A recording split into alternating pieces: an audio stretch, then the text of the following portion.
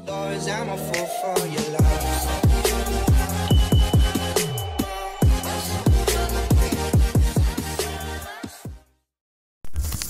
Hi guys, so welcome back again to another vlog. So, nandito ako ngayon sa kotse.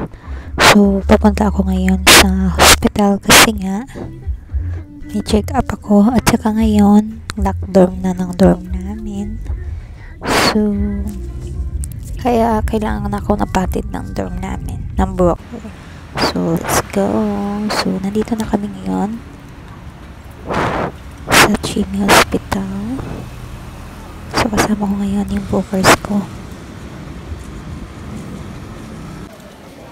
Daming tao. Nandito na ako. Ang daming tao. Nasama ng pakiramdam. Nasusuka na naman. So, ayan na guys. Natawag na ang pangalan ko. So, tara na. Let's go. Hmm. I'm always vomiting. Always vomiting. I, Okay. I feel cold always. Okay, let's check out baby. Okay, sure.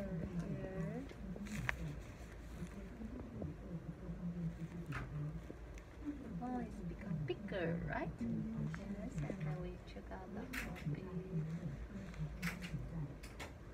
Here is the heartbeat. Boom, boom, boom. Can you see that? Yes. Yes, boom, boom, boom, boom, boom, boom, boom. Yes, The heartbeat is okay. My baby okay, doc? Mm, yes. Right now Because- it seems okay.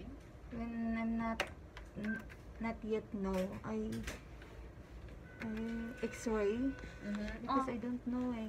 X-ray is okay Mm, because uh, X-ray is the laser, the laser, the uh, laser structure is lighter than airplane.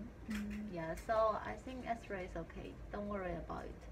When I take medicine to my What kind of medicine? to my uh, toothache. Um, amoxicillin, mefenamic, Pardon? mefenamic acid, For is for treat Teeth- what? Eh, teeth, tot, tooth. yes. Okay, it's okay. I think it's okay. Okay, good. The condition is good. Okay. How many weeks? How many weeks left? Oh, it's about uh, eight to nine weeks. Okay. Yeah. So, nag-proceed naman ako sa another room kasi nga nag-proceed ako para sa i-explain nila yung about sa prenatal book para maintindihan ko.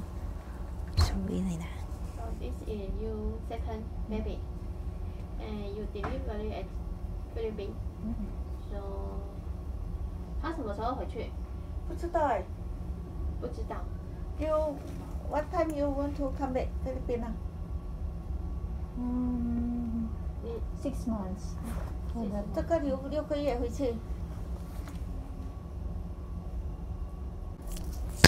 So, ayun na nga guys, nakawin na ako ng room. So, ayan na, babasay ko na to about sa, about sa maternity.